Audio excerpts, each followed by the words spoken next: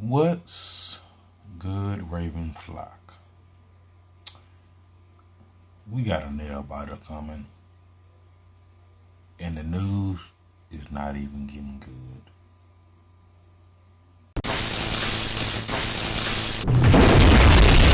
I'm putting hogs on the mob, planting purple seeds. Baltimore Ravens code, purple trim, big body, old school for low.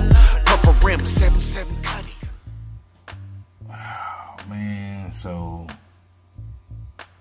whew, let's. Where where do I start, really? Where do I start?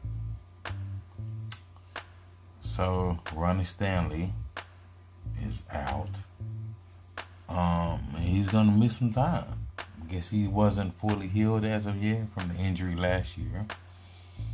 So, uh, Alejandro Villanueva is going to move to left tackle. I forgot who they said is going to be at the right tackle, but I'm like, okay, Alejandro's natural position was left tackle, so hopefully he can do better. I doubt it. Hopefully he can do better than what he did with the Raiders, because that was a massacre. And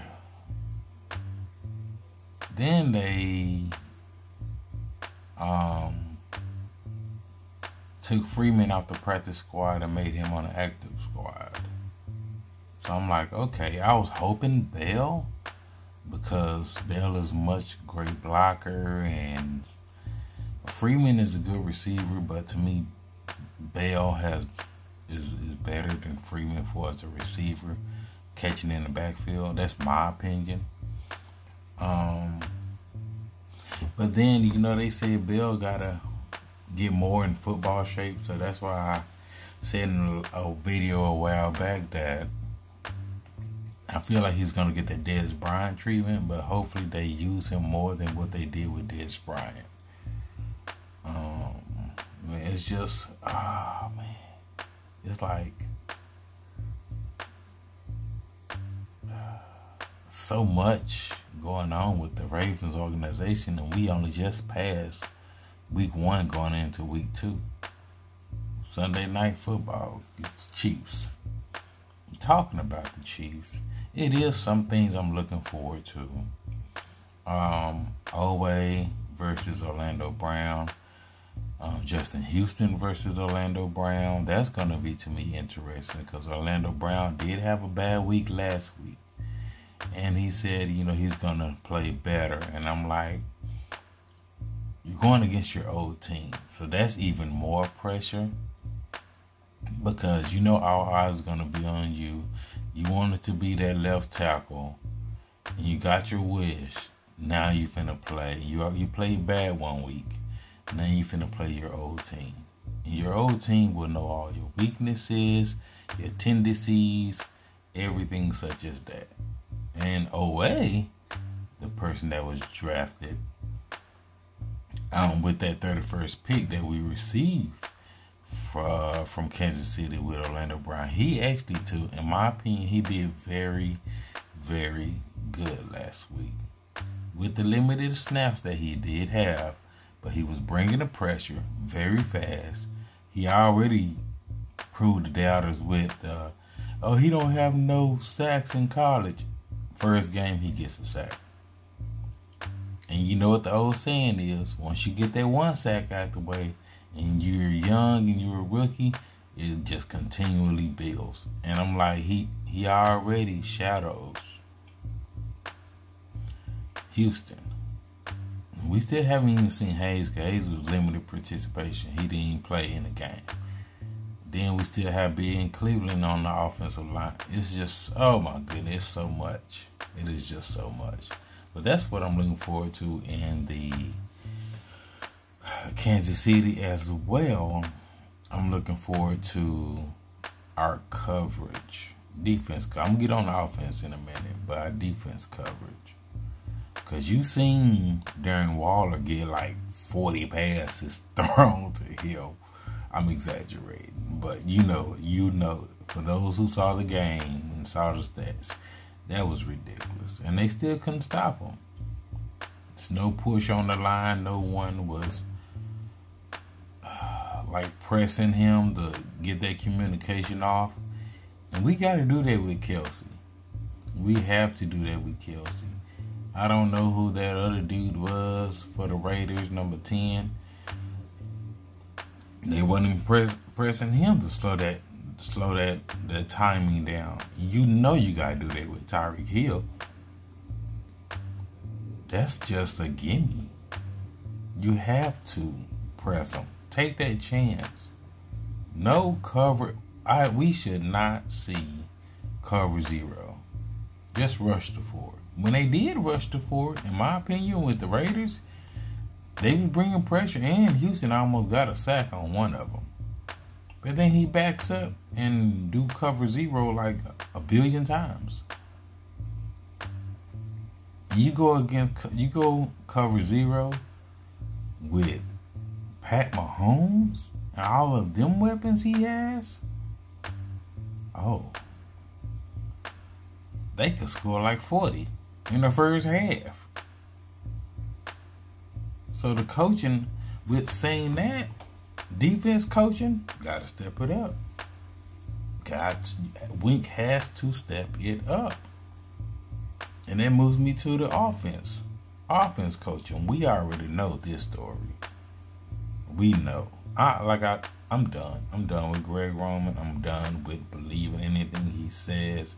I am completely done. Let's see Keith Williams and Tee Martin get upgraded. I'm done. After this game, I'm done with this dude. He continually lies, and Harbs continually let him lie. EDC might have to step in and be like, okay, Harbs, yes, you're a good players coach, but you got to do something about this offensive dude. Wink fluffed up, and he he like they didn't want to really admit it, but he fluffed up, but he don't have that uh, that consistency of messing up like Greg Roman. Greg Roman been continually. He we had that one good season with fourteen and two, and he's been just riding that. That was two years ago. Terrible last year, and you already starting the season off. I know it's just one game, but it's Greg Roman. Offense coordinator been cut multiple times. San Francisco, um, the Bills, and the Bills went to the playoffs and they cut him the next year, I believe. So that tells you the, man is is good for one year. My cousin told me that a while back, and he's a Frisco fan. He's like, bro, you're gonna have one good year, then you gotta cut him we still haven't cut him. Bills had one good year. San Francisco had one good year with him. He was offense coordinator when the Ravens beat him in the Super Bowl. One good year. So it's just so much so much going on and we are we still at the beginning. That's that's a scary part. We are still at the beginning. Seeing Greg Roman, seeing Alejandro getting beat up. I think they only showed that I can remember one play where he kind of sent some help over there with him. So he should have sent he should have sent some type of help because he's seen Villanueva getting just tortured. Ronnie Stanley had nine pressures, but you see now Ronnie Stanley is out. He's not. I knew he wasn't going to be 100%, always coming from an injury. Never expected, but now we just don't know. We just don't know when he will come back. Hopefully, he will come back sometime this year when it's getting critical. Um, they could be just making sure the play is safe. Um, but he didn't do no adjustments. And it's been multiple, multiple times when we see no adjustments from this man. And it's like really gets tiring. You see him continually like blitzing like crazy. Lamar, they and he didn't make no adjustments to help out Lamar. And Lamar is such a phenomenal player, but you can only do so much. It's like Patrick Mahomes in the Super Bowl. You can only do he could only do so much with what was going on with the line. And then they put out the stats that Lamar actually got pressured more than I believe it was like Patrick Mahomes in the Super Bowl was like 54 or something like that, and Lamar Monday Night Football was like 57. That's that's ridiculous. That's literally no time. But you saw the little bit of time he had. Hollywood, uh, Watkins. You saw you saw the big plays. You saw the plays happening when he had just a little bit of time. There's no reason he should have had 12 carries running for his life. And it's just like, oh my goodness. And I know I see it's just the first game, but it's it's it's more than that. To me, it's more than. Lamar had the fumbles and everything. Lamar will fix that. I'm not even worried about that. But you see what he was going through is really not shocking. It was like, dude, no help, no adjustments from Greg Roman. Do some quick passes or something. That's what the Steelers did last year with that terrible offensive line. They were doing them quick passes. Get them out of there.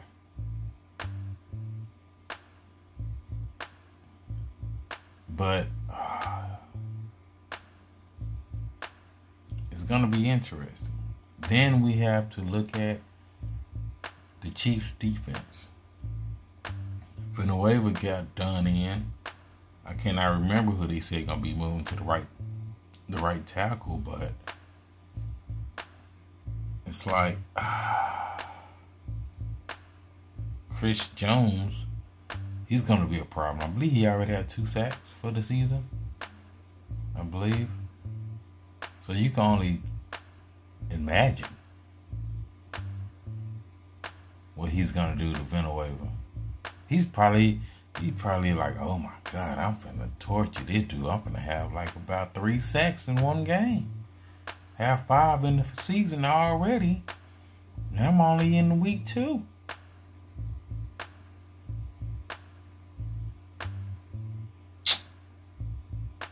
he's one of the best on the line, other than you know Aaron Donald, give me, but he's like second best, I believe. So Greg Roman has to step it up, and it's ridiculous. I said this in a tweet. I believe I said in another video. Ravens lose this, I would. I just like, you know what? I'm done. Greg Roman, go. Keith Williams, Tee Martin, you're you're, you're both you're both uh, getting a promotion. Let's let's let's get this nick this in the butt as the season is still early, so we can get these cobwebs out the way and we can just go. So when Rashod Bateman and everything comes back, we are already on the jail. As as our running backs continually learn the system, we are already we are already going. We are already going. As EDC trying to fix his offensive line as well, with the little cap he has, let's, let's just go. We have we have no time to waste. None whatsoever. Cause the Chiefs they gave away a lot of big runs. Like Chubb and Hunt was cooking. I was watching that game. I was like, the Browns are finna win this. Then you know Baker Mayfield did his thing and gave the game away. But I'm like, the Browns is running all on these dudes. And we know that's a Raven specialty. And that's what I was thinking before I made this video. I'm like, they know the Ravens gonna run. We got to do some type of scheming or something to get that run going. And they and also the Chiefs gave away some big passes. But look at our offensive line. Will he have time to get down that field so he can throw it? Because some of the passes was there when he had the time. He overthrew up maybe one or two. I believe. Deb, Mark Andrews. That's the only two I can think of. But that's when he had a little time. But when he did have that time, Hollywood and Watkins, like I said, beautiful plays. Caught it, caught it in stride too. Didn't have to slow down or anything like that. Beautiful. But then I'm like, okay, there's a chance we can run on these guys. And what do Greg Roman say in the press conference today? I understand Ty'Son Williams uh, was doing good, but this is pretty much what the I want. I want to matter of fact, let me get the correct saying because it was very, very stupid. He said Ty'Son Williams decreased snaps in the second half. We're not going to put one back in there and play him the whole game. Those days are over. We're going to rotate guys in and out and keep them as fresh as we can. How can you rotate a guy that is hot and in your quote rotate only two carries in the second half? What are you rotating? It literally feels like you forgot he was there after you praised him earlier in the week. Okay, you want to give Murray his his carries? Okay, you can still. But when you see this guy's hot, come on, keep it going, keep it going. Give him two plays. Man, he's still cooking. Okay, give him another one. He's still cooking. Okay, give him another one. All right, you need a little breather. Murray, go out there. Good for you, breather. Get back out there. Let's keep it going. Keep it. That's rotating. And when he said that, I was like, those days are over. That's the first thing I I'm like, those days are over. Your days should have been over. But Harbs is not gonna do that. I like Harbs. He has had some questionable, questionable coaching incidents. But he has to be hard on his coaches. You see the players like Harbs when the wired and all of that, they was there for Harbs and everything. Harbs was down with the JK and all of this stuff. And I'm like, Harbs, you have Keith Williams and Tee Martin. You see how the wide receivers are already playing better than they were when the virus was here? Think about what Lamar could do when you get rid of this virus, Greg Roman. We could see a brighter day for Lamar.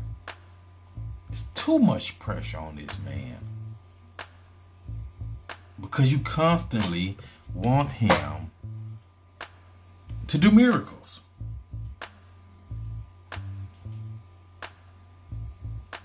And it's like, what else can Lamar do other than just be spectacular? And it's like ridiculous.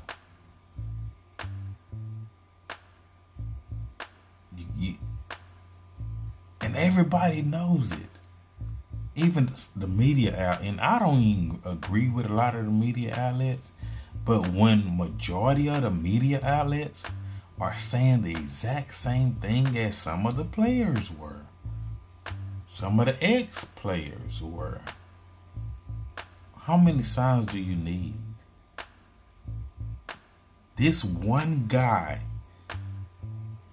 could be stopping the potential of your star franchise quarterback, and you continually be stubborn.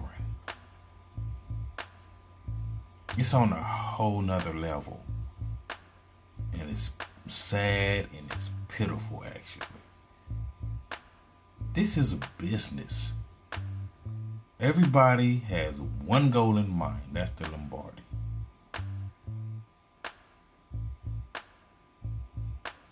And you see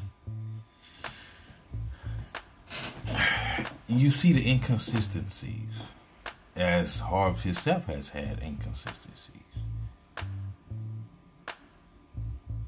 But sometimes you just gotta, you know what? I'm done, man. I'm I'm tired of your lies. You're holding us back. We had a 14 point lead.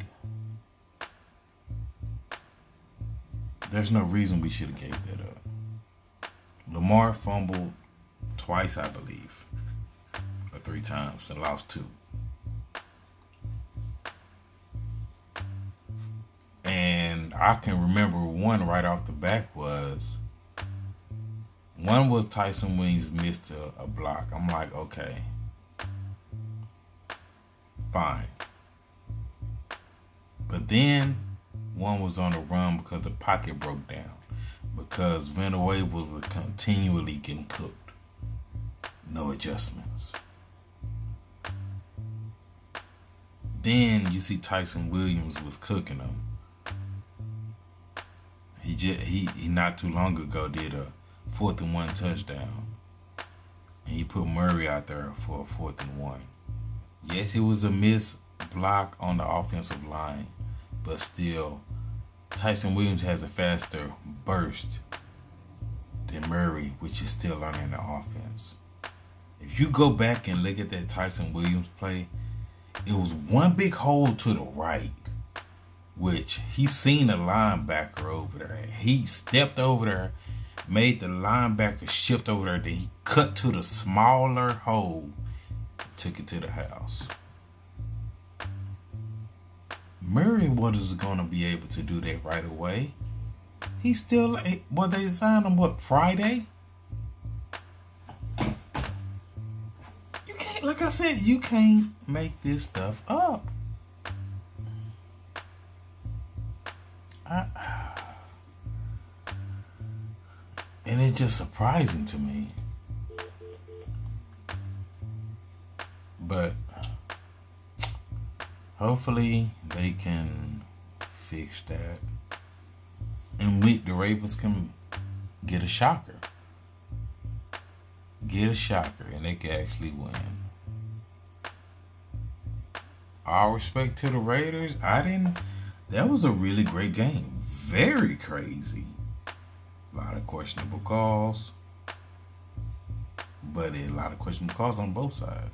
But one of the main questionable calls was that when the offensive lineman jumped and they didn't call it when they were kicking that 55 yard field goal, which would have made it a 60 yard field goal.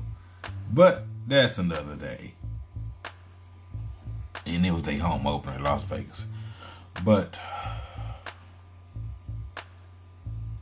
still, as I say, I don't believe the offense will improve with Greg Roman. I'm not going to put my hopes up. I'm just tell y'all straight up. I have the Ravens losing this. I'm going. I am. I'm not even going to give a score because I don't know how many cover zeros Winkins going to do. But I have them losing. Starting the season zero and two. And to me, that should be enough to let Greg Roman go promote Keith Williams, promote Tee Martin, let's get this train going. So y'all tell me what y'all think. My apologies, the video is so long. I, I don't think I ever did a video this long. But anyway, everybody stay safe. Tell me in the comments what you think. Hey, if you want to put your score prediction in the comments, let's see. But and also before I end the video, the people that came by yesterday with my uh, Pokemon cards opening. Thank y'all for coming by. It's ooh, fun. We got the football coming up. We got the football cards coming up and the basketball cards. So um, hit that notification. Hopefully the stream don't go crazy like it did yesterday. But everybody stay safe. God bless.